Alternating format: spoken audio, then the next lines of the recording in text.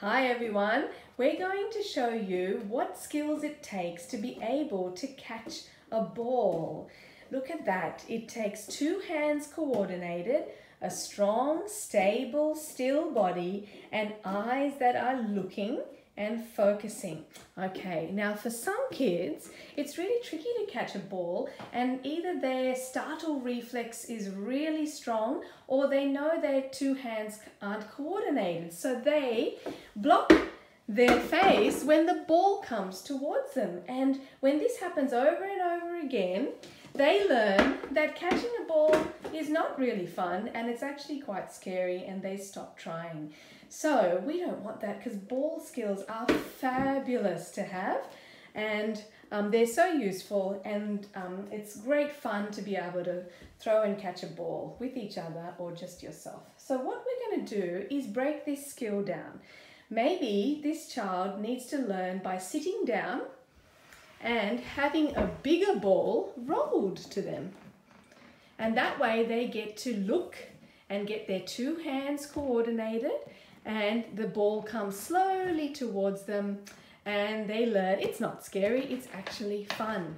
Okay, so that's a big target, that's easy. Now what about a smaller ball and you roll it to them?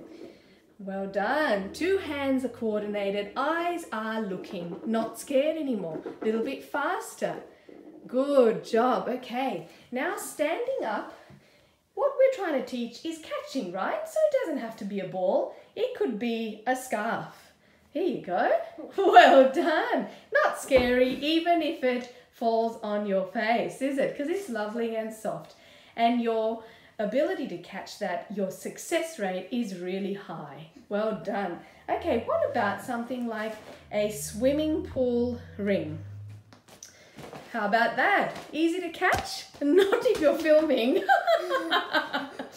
well done. Easy to catch. How about a blown up beach ball? Well done. Easy to catch. And so what about a balloon? It moves a bit slower. It gives you a chance to get to it. And it's not scary, unless of course you're scared of it popping. Uh, all right, well done. There you go. So these are ways that you can practice and then finally, after you've practiced a lot with different things, you'll be able to catch a ball.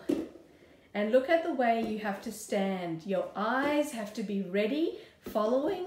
You judge when the ball's about to come to you. You're leaning forward, balancing on your two legs, and two hands are ready to catch. Good job.